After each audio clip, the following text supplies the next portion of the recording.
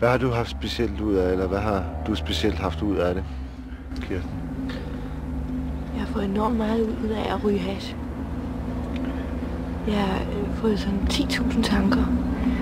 Og så har jeg fået en mere afslappet forhold til alt. Til mine nærmeste omgivelser. Og til, til ting.